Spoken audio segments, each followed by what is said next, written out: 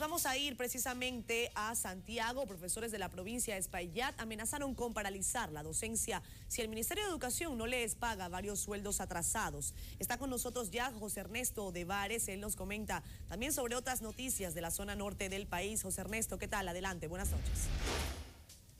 Gracias, Catherine. Muy buenas noches. Damos inicio al resumen desde el municipio de Moca, ya que profesores allí están amenazando con abandonar las aulas si el Ministerio de Educación no les completa su sueldo y no hay nuevos nombramientos de maestros.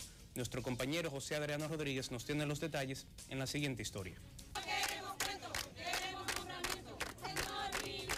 Más de 100 profesores dicen que desde que inició el año escolar trabajan dos tandas y solo le pagan una, por lo que amenazaron con paralizar a la docencia de no completarle dicho pago. Igual situación ocurre con el personal de apoyo, como porteros, conserjes y secretarias de los centros educativos de Moca. Continuamos en la lucha, conversando, asistiendo al distrito para ver qué estaba pasando. Todo eso, todo eso nos ha llevado hasta hoy. Esta compañera eh, y el otro compañero le preguntaban a él que cómo él no iba a saber porque nosotros ya estábamos en las aulas desde el 18 de agosto. Para hacerle un llamado al, al ministro de Educación, que por favor, que por favor tome carta en el asunto. Es su provincia la que está siendo afectada y no le queda nada bien.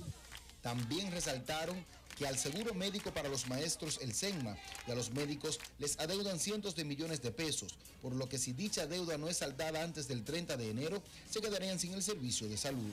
Y se debe de dar el servicio como se nos descuenta, porque es un dinero que lo trabajamos y bien sudado. Se les debe unos siete meses y los, eh, las clínicas y los médicos solamente van a trabajar hasta o van a prestarnos o nos van a dar el servicio hasta el 30 de este mes.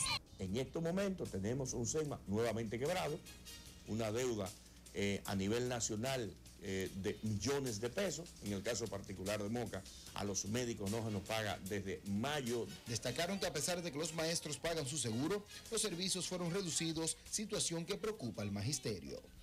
Desde Moca, en la provincia de Espaillat, José Adriano Rodríguez, NCDN. Y en otra información, el arzobispo de la Arquidiócesis de Santiago, Ramón Benito de la Rosicarpio, advierte que el gran reto que deben enfrentar los jueces es el de no caer ante las presiones de la corrupción. Durante la Eucaristía con motivo del Poder Judicial en la Catedral de Santiago, dijo que el pueblo necesita jueces como un ministerio público sabio para poder dejar atrás la percepción de impunidad. Para nosotros en la República Dominicana, el reto del narcotráfico, del negocio, de, ese negocio eh, ilícito, y hay otros retos también que el Papa tocó el tema ahora, no esclavos sino hermanos.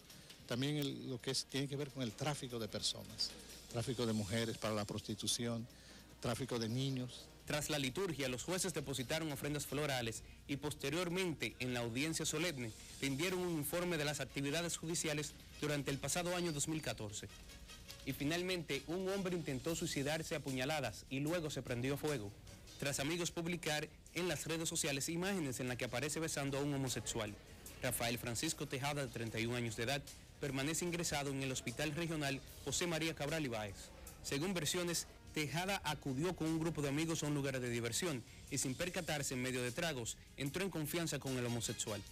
Las amenazas de sus amigos de publicar las imágenes llevaron a Tejada a la depresión y en vez de asumir una actitud de violencia contra ellos que se dieron a la tarea de difundir la noticia, prefirió suicidarse. La quemadura, eh, sí, no, no, no por completo, no los brazos, en la parte de la nuca, la cara que tiene quemadura, en las orejas y cosas, esas son las partes que tiene. ¿Dónde se la propinó? ¿Perdón? Ah, no, se la dio aquí, en el lado del corazón.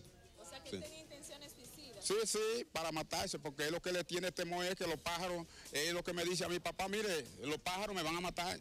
Los médicos indican que su estado de salud es crítico debido a las quemaduras. Hasta aquí nuestro resumen informativo desde la región norte del país. Yo regreso con ustedes a los estudios de la ciudad capital. Muy buenas noches. Buenas noches también para ti, José Ernesto, también para todo el equipo de Santiago.